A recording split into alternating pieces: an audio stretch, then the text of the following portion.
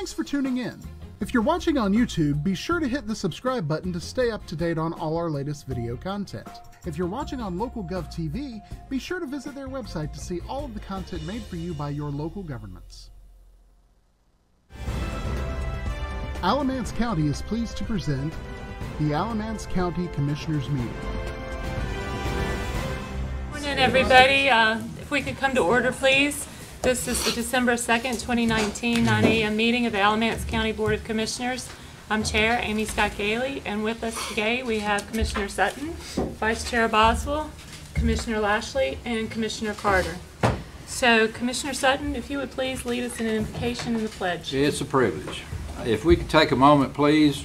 My Heavenly Father, thank you for the Thanksgiving season that we just went through. But help us to always remember that is not the only day that we need to give thanks for the blessings that you've put on our existence. As we enter the Christmas season, help us realize what that season is about. And also, though, that that day is not the only day that we need to remember that. Please be with our military around the world to keep us free and safe. Please be with our world leaders everywhere, including ours, to get us to where mankind needs to be on this planet. Be with this board as we have a new reorganizational or organizational period for the upcoming year. Help us do the things that we need to do to benefit the citizens of this county that we represent. Amen. Amen. I pledge allegiance to the flag of the United States of America and to the republic for which it stands, one nation, under God, indivisible, with liberty and justice for all. All right, next we have the time for public speakers. We do have uh, rules for public comment uh, posted on the county website. Those who are contemplating coming to speak, if you would please review those rules before coming, that would be useful and helpful.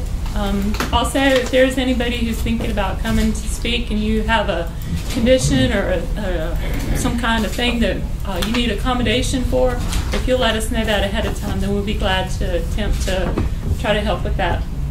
Um, This is the time for uh, speakers on agenda items. We have a second public comment period at the end of the meeting for non-agenda items. And it looks like the two people who have signed up for public comment have signed up for non-agenda items. So we'll postpone those speakers for later. There being no public speakers on agenda-based items, uh, are there any commissioner responses? If not, if we can move on to approval of the agenda. So moved. Second. We have a motion and a second to approve the agenda. If there's no discussion, all in favor, please say aye. Aye. Anyone opposed? Uh, Next is the approval of the consent agenda. Move to approve. Second. We have a motion and a second to approve the consent agenda. All in favor, please say aye. Aye. Anyone opposed? Okay, next we turn it over to County Manager Hagood for the board organization for the upcoming year. Thank you. Uh, As the commissioners know, the board holds its organizational meeting during the first regular meeting in December. And at this time, the floor is open for nominations for board chair. Make a motion that we, um, not, that to nominate Amy Gailey to continue as board chair. Second. So we have a nomination uh, for Amy Gailey for board chair and a second. Are there any other nominations? If not, the floor is closed. All those in favor of Amy Gailey for board chair, please signify by saying aye. Aye. Vote unanimous. Thank you very much. Thank you, Madam Chair. Thank you so much, and thank you, gentlemen. Um, If y'all indulge me, I want to tell a little story real quick uh, that I heard from somebody who was in the Air Force for a while. There were, it was a pilot. So there were a couple of lieutenant colonels who were flying on a mission together. And in order to be in command of a mission, you have to go to aircraft command school. And they had both been, of course, to aircraft command school a long time ago. And the aircraft commander just has to file extra paperwork, the flight plan, and keep up with some documents and stuff. So they're walking out to the airplane, and one of them said to the other, "You know, I think, I think you know what. If you want to, you can be the aircraft commander this time." and the other one said, "No, actually, no, I've been thinking about it, and you, I think you should be probably the aircraft commander." And they kind of stood there for a minute, and then there came a young captain walking toward him who had just come back from aircraft command school.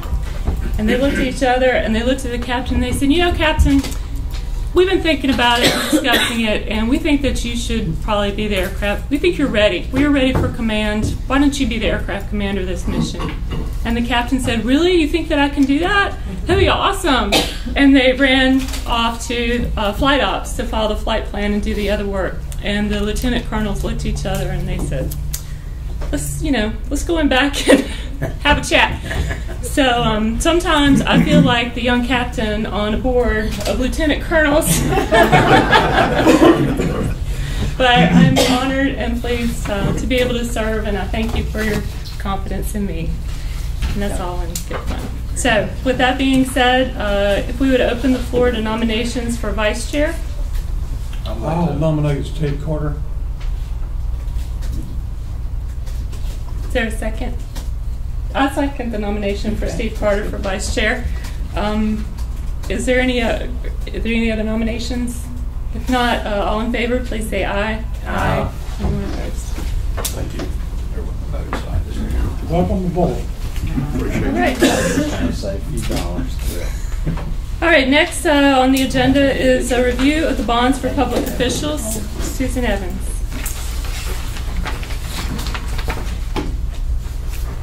Point of order, may I ask a question? Do we have to have a new pictures now that you're, you're there and Eddie just shifted with Steve? Looks like we'd be able to keep that same picture. I would- Yeah. We'll discuss it with Tori. I would tend to agree. I hate taking new pictures every time I. I'll stay out here on the wing, I'm fine. Well, we always stand up, don't we? Well, that's true. You want to, you want to switch this time? Do what? Do what? you want to switch places with I'm good. with paper now? All right. All right. Ms. Evans, thank you. You're very welcome. Good morning, Commissioners. Before you is our annual approval and review of the performance bonds for public officials. This covers the tax administrator, Jeremy Akins, Sheriff Terry Johnson, myself as finance officer for the county, Hugh Webster for the register of deeds, and then myself again for the finance officer position for the TDA board. Okay, we do need to have a vote on this to approve these bonds, I believe. I'll move that we approve. Second. We have a motion and a second to approve those bonds for public officials. Is there any discussion? If not, all in favor, please say aye. Aye. Anyone opposed? All right, thank you. Uh, Next, we have a grant project ordinance for the DSS Office of Violence Against Women grant. Good Adrian Day. Good How's morning. everybody? Morning. Morning. Good. Um, I'm before you this morning asking you to adopt the grant project ordinance in the amount of two hundred ninety-nine thousand, two hundred twenty-three dollars. And this is a two-year continuation funding of a grant that we received, and we've had it for three years, so we're just asking that you adopt this. Motion to approve. Second. Okay, we have a motion a second, and there's no match required. That's correct. Is there any discussion? If not, all in favor, please say aye. Aye. Anyone opposed? Thank you. Thank you. And then we have a budget amendment for the library.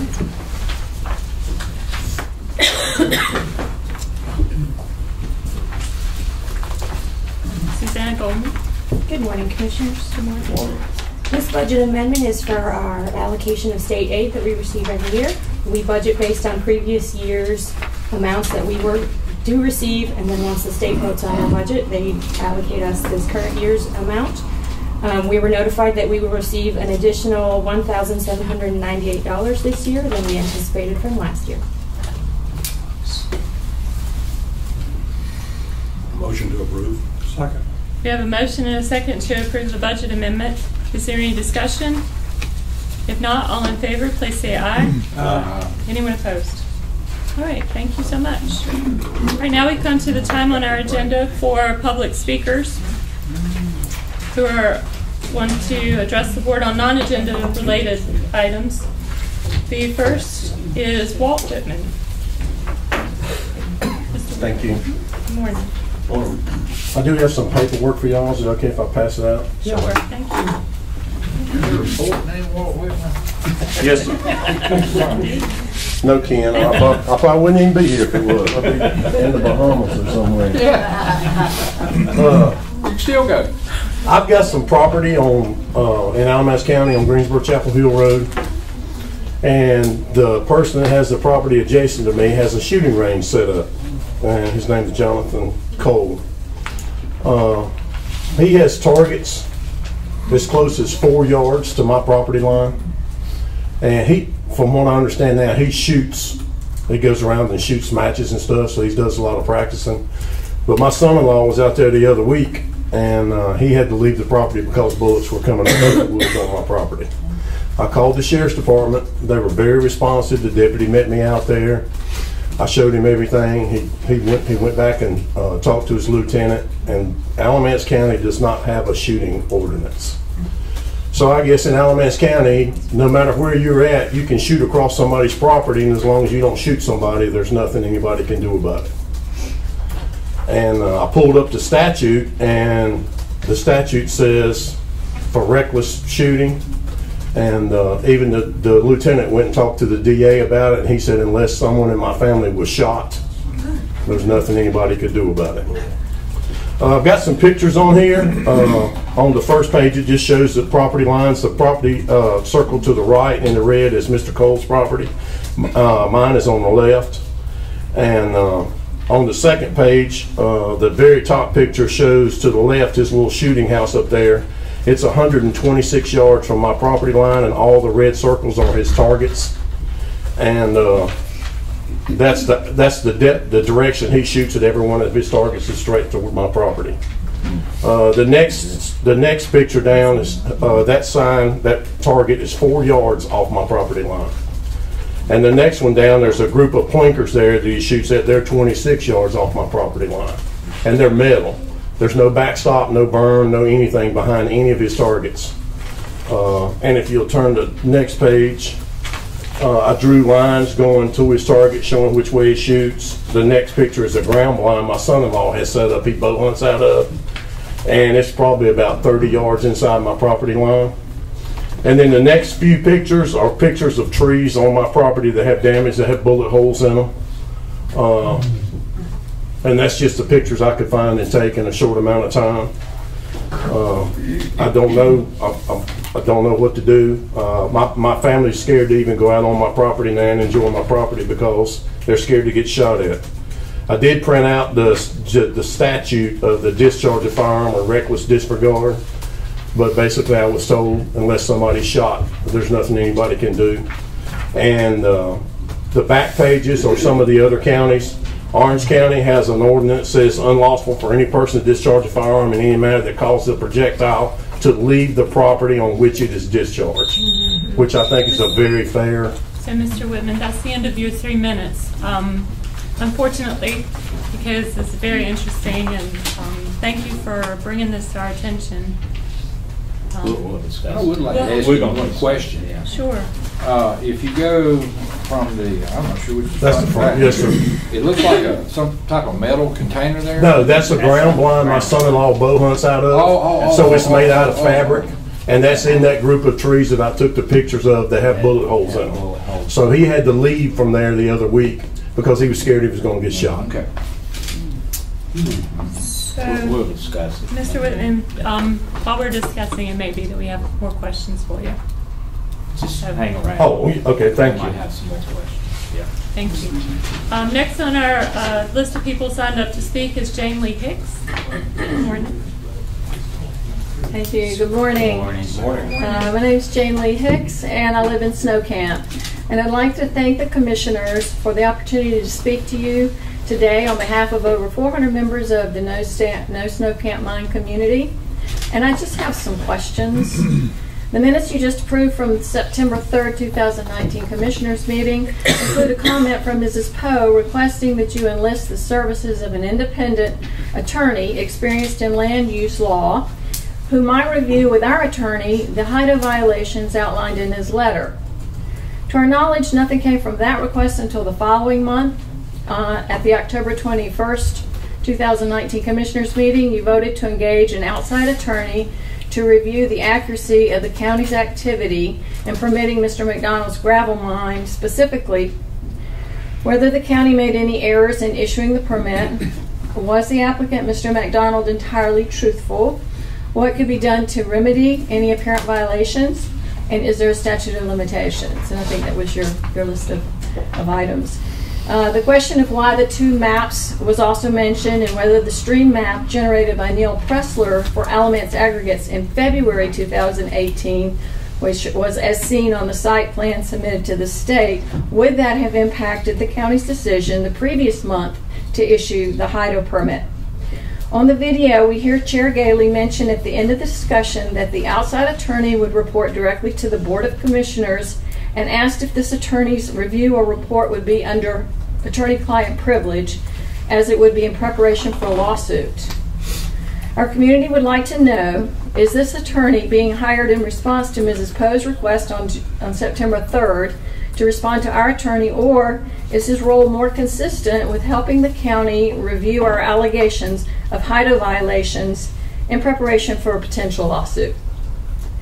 Specifically, is it your intention to have him review the July 1, 2019 letter sent by our attorney outlining apparent violations of the HIDO that occurred with the intent to construct permit issued to Seaway and McDonald and respond to our attorney as requested in that letter? If so, then what is the timeline for his engagement? As it's been three months since we first requested an outside counsel, and now more than 30 days since you approved the hiring of an outside attorney. So we do sincerely appreciate your ongoing concern for ensuring that the permitting process that was conducted was in full compliance with all the provisions of 2011 HIDO. Apologize for sounding like a broken record, but it's still a question not quite answered to our community, and thank you for the time. Thank you, Ms. Dick. All right, there being no more public speakers, do we have any commissioner responses? Is our ordinance on the gun deal that bad as far as, I mean, I can't, com- I mean, I love guns as much as anybody. I can't imagine somebody shooting bullets across my property and I can't do, it can't be handled. I can't comprehend that. I agree, I agree with that. Well, that. the sheriff shaking his head yes, so. There's What's that? He Yes, said he- I agree with you. Shaking his head. You agree that I it agree should with be you. that way. However, we don't If have somebody's something. firing a weapon on your property, you have a right to bring a civil action to make them stop it. It's called a nuisance. That's what I was thinking. You bring an action in, in Superior Court, get a restraining order, tell them stop shooting across my property. That's exactly what I do. Well, Walt give us some different articles, and I'm thinking these Exactly are what I from told. Orange County, Yeah. maybe. The, the first one is from Orange County, and they're, they're, well, that's the statute there, but the Orange County ordinance states that if you fire a projectile on your property, you have to be able to keep, that projectile has to be stay on your property. Um, that's- I think Uh, that's Caswell County, Good rule. Yeah. this man shoots all the time, and I understand, I love to shoot. I used to work in the jail, I was an armed detention officer, I love to shoot. But I know better than to set up a shooting range on nine acres of land and have a target four yards off of my neighbor's property. If he wants to shoot, shoot I'm back not to trying, where they're I'm not trying to be right? smart, but my, my response to the lieutenant that called me, Lieutenant Bennett, it was very nice. He checked, he checked with the DA and everybody. I said, if I bought the property next to Sheriff Johnson and he was mowing his yard and I shot across his yard and didn't hit anything, the deputies would be in my driveway in five minutes. But it's just, and my, my grandson's three years old. And my Yeah, it's a little slow out son-in-law, there. my son-in-law's trying to get, my grandson's all boy. He loves to be outside. He can't even take him over there and sit in the blind with him because he's scared he's gonna Yeah, get shot. right. Uh, And this guy shoots thousands of rounds. They have matches over there, and he's trying to do it on four and a half or five acres of land. Are there not some rules about a shooting range? I mean, it sounds like. the guys Caswell County has a established rule that you shooting have to have a range. minimum of 20 acres. Yeah. You have to have a berm 10 feet high, two feet wide of just dirt, so the bull- the projectiles will not go through it. Uh, I mean, I don't, I don't know what else to say. I'm, I'm, I'm, I think that would be something we He's doing might that want much to shooting, look he at. needs to have a too. Well, if he, Commissioner Boswell, if he has applied for a permit for a shooting range, that'd be one thing. But it's a private citizen discharging a weapon on any property that's going to his neighbor's property. But if what the actively gentleman's saying, it sounds like he has a shooting range if he's having matches, if, you know, Right, it would be an unlicensed. yeah, it'd be an unlicensed thing. Would that not be the approach to take on it, as un- unlicensed shooting range? But I, I have, I don't know anything about it. It's the first time I've heard of it. I'd like to. Well, I would at least take a suggest, look I give you one of these, hand that over to Clyde, he definitely needs to look at that. Mr. Albright, I recall when we were talking about the noise ordinance and we heard these uh, concerns about neighbors uh, shooting and disturbing people with noise and also with projectiles. I recall that there was a statute that some people brought to our attention that said that we are unable to regulate, that it is unlawful to regulate shooting ranges. Um, But other counties seem to be able to, right? Well, that would be my question. Uh, was and I can't recall that statute number or where that was. Um,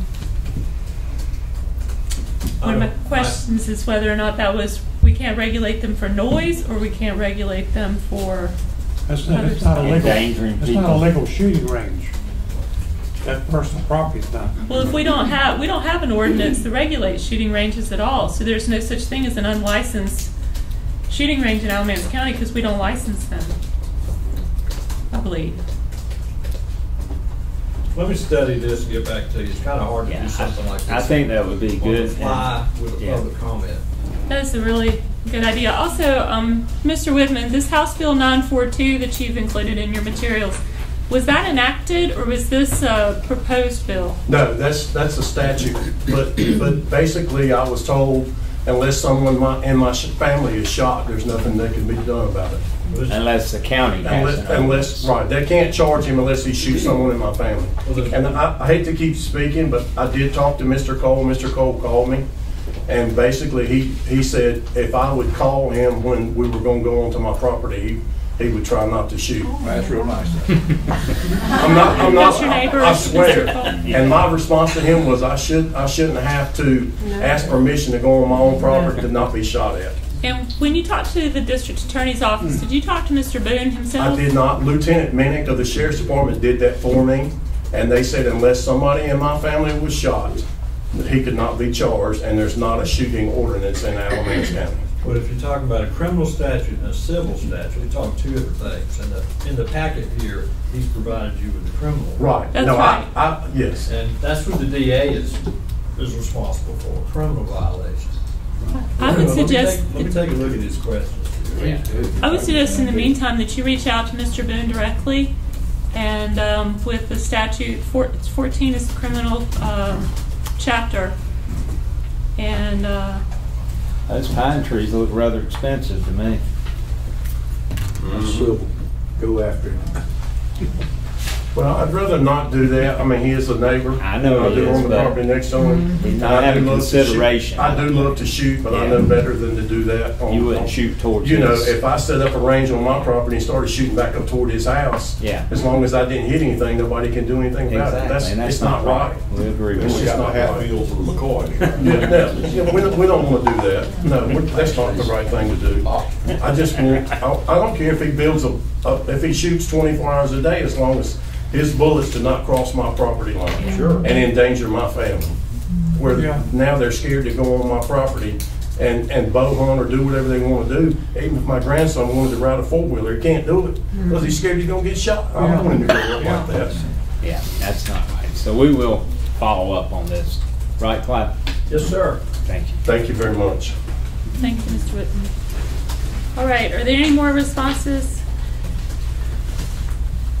Um, I'll respond to Ms. Hicks. Um, Ms. Hicks, it was my, and I can only speak for myself right now. It was my intention in hiring the private attorney not to specifically address the questions in the letter, but to ask the specific questions. Was the permit validly granted? Um, is there a statute of limitations that applies? If the permit was not validly granted, is there anything we can do about it at this time? Um, sort of an independent council type review of the permit situation, not really specifically to address the questions that were raised to respond to that particular letter. That was my um, thought in that. And I understand we've sent the package, Mr. Albright, to uh, the attorney and Yes, sir. We engaged.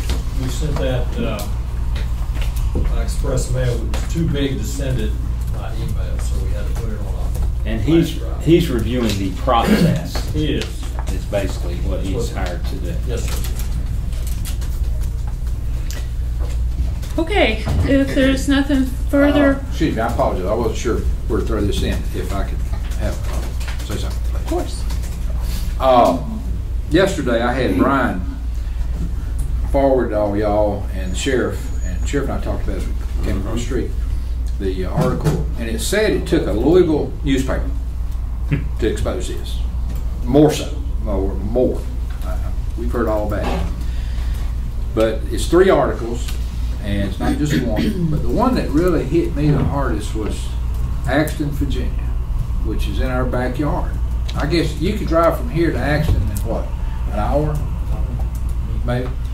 And I was telling the sheriff, when I got out of college, I lived uh, in Eden, well, I lived in Greensboro first, then I moved to Eden, and I used to drive that road to, it's called Log Town. That's, that's the uh, sort of the slang term for, because it cut so many trees in there, a lot of lumber. And I would cut through Axton to go over to 58, to go to Danville, go by the Buffalo Farm. but right there in Axton, where all this, they're, they're writing about. I've knocked on doors, trailers, mobile homes, collecting loan payments. That was my first job. It was CSR, customer service rep. And I had to go out and, they weren't bad areas to me. I just had to go out and knock on doors.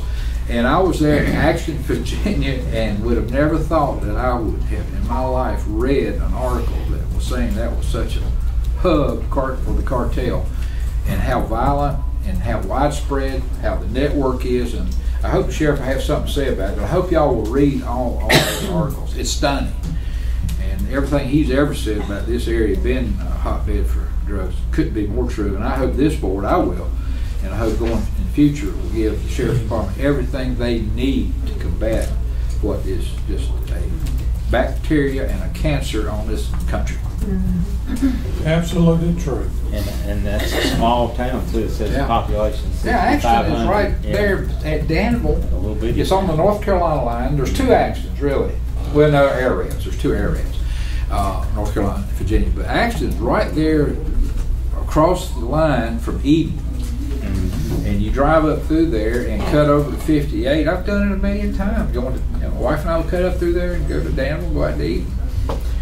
Collect uh, accounts up that way. And it's stunning that the whole country saw this these articles. It was in those that the disclaimer, or not the, the disclaimer, but the notice for those articles were were at the bottom. Even the, Times News had of every paper that I click on. You know, I got an iPad full of newspapers, and if you look down at the bottom, it, every one of them had Fayetteville, every, everywhere had that disclaimer about those articles. Well, you know, Mr. uh, Sutton, I appeared before the commissioners talking about the Sinaloa cartel presence here. The new generation is one fighting the Sinaloa, but Sinaloa is all over North Carolina. And I know the Berlin paper accused me of trying to scare the citizens when I talked about the Sinaloa cartel. And they're here. We, I mean, we've arrested some of them. We've had kidnappings, we've had murders involving those individuals here. So they're here, and it's time that we open our eyes to what's going on in our communities. I can tell you that. Uh, On the news last, I think it was last night on the news, I saw where the, the president had, a- had uh, designated the Mexican cartel as international terrorist. I'm glad he did. If they do that, I, I was with Homeland Security last week, uh, then we can go after them in Mexico, we can go after them here. if Right. They're declared, uh, domestic terrorists. And that's what needs to be done.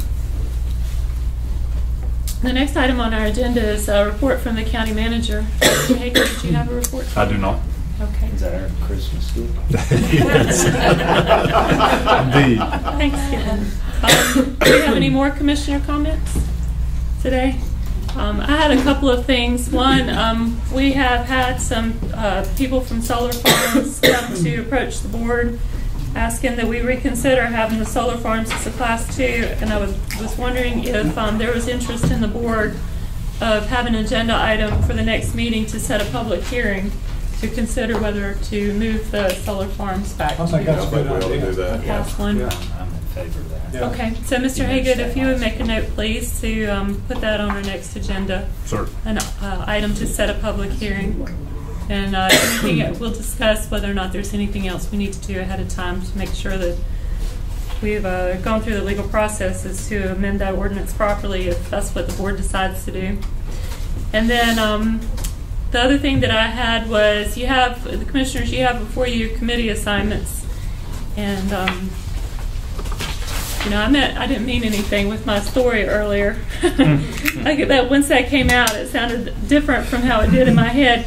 But uh, that was just good-natured teasing. But uh, if anybody wants to trade a committee, if you would let me know, if you see a committee on there that you don't currently hold, that you would like to do, if that somebody else is doing, we can work that out. Um, if you have a committee that you would like to um, trade for something else, if you have one that you're willing to give up, if you would let me know that, or um, Tori, then we can work all that out. This is the time to add or change committees for the commissioners, to reconsider our committee assignments for the upcoming year. So I just ask you to review that. So, if there's nothing else, then we will be adjourned. Thank you.